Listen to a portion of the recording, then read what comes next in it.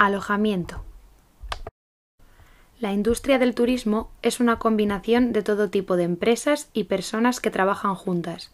Se puede dividir en seis subsectores. Atracciones turísticas, transporte, alojamiento y catering, operadores turísticos, venta al por menor, agentes de viajes y en línea, turismo del sector público. El alojamiento es uno de los sectores más grandes en la industria del turismo. Hay alojamientos con servicios y alojamientos con cocina. Alojamiento provisto se refiere a cualquier tipo de alojamiento donde el huésped recibe un lugar para dormir, comidas, servicios de portería, servicios de recepción, etc.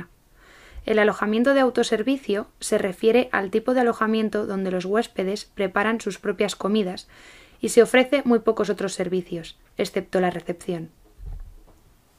Los ejemplos típicos de alojamiento con servicio son hoteles. Un hotel es un establecimiento que ofrece alojamientos a corto plazo. Los hoteles son el tipo de alojamiento más popular en muchos países. Pueden ser pequeños hoteles familiares, hoteles en centros turísticos populares para turistas, hoteles de negocio, etc. Dependiendo de la gama de servicios e instalaciones que se ofrecen, un hotel puede clasificarse como de una estrella hasta cinco estrellas. El sistema de clasificación por estrellas es la clasificación que se usa en todo el mundo. Existen otros sistemas, pero todos ellos clasifican esencialmente hoteles de lujo, superior, mercado medio y presupuesto o economía. Hoy en día, el servicio en la industria de la hospitalidad va más allá de una sonrisa o un simple gracias. Necesitas crear una experiencia dinámica, ambiental e inolvidable para que tus clientes se mantengan a la vanguardia de la competencia en el sector hotelero. Los servicios involucran a un miembro del personal del hotel que hace algo por ti.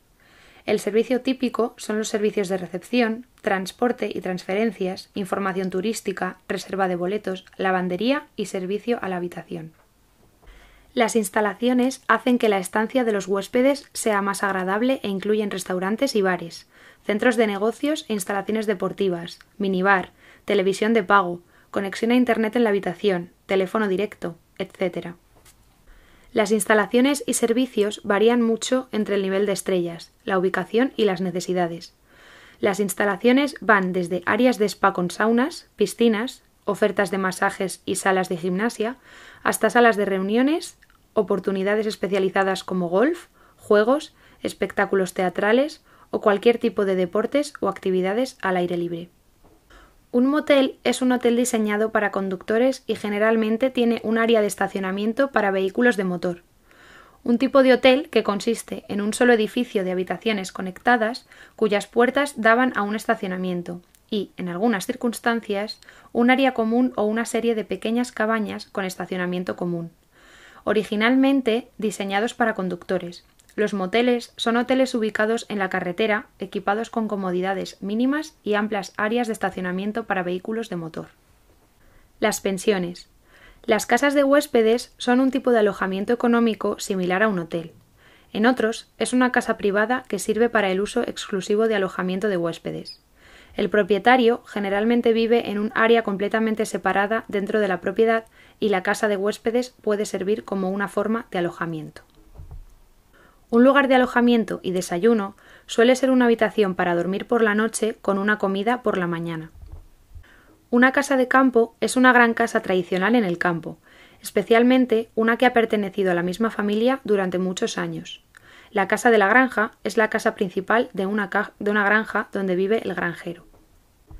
Las casas de campo están al aire libre en la naturaleza, o de alguna manera están afiliadas a un parque o entorno natural. Un crucero es un gran barco como un hotel, donde las personas viajan por placer. Un salón de residencia de la universidad es un edificio que proporciona dormitorios y residencias para un gran número de personas. Apartamentos, o también conocidos como pisos, son una unidad de alojamiento independiente ubicados en un edificio que contiene varias de estas unidades. Los albergues ofrecen un alojamiento sociable y económico, donde los huéspedes pueden alquilar una cama, generalmente una litera, en un dormitorio y compartir un baño, salón y a veces una cocina. Las habitaciones pueden ser mixtas o de un solo sexo, y las habitaciones privadas también están disponibles. Un campamento es un área donde una unidad familiar, individual, grupal o militar, puede armar una carpa o estacionar una caravana. Un campamento puede contener muchos campings. Una caravana es un vehículo equipado para vivir, generalmente remolcado por un automóvil y utilizado para las vacaciones. Una autocaravana es un tipo de vehículo recreativo, autopropulsado o vehículo recreativo que ofrece alojamiento combinado con el motor de un vehículo. Hoy en día, el término villa se aplica a menudo a las propiedades de alquiler de vacaciones. En el Reino Unido, el término se usa para viviendas unifamiliares de alta calidad en destinos cálidos. Un chalet es una pequeña casa en el campo, utilizada especialmente por personas de vacaciones o que participan en los deportes. Una cabaña de troncos es una pequeña casa hecha de troncos de árboles.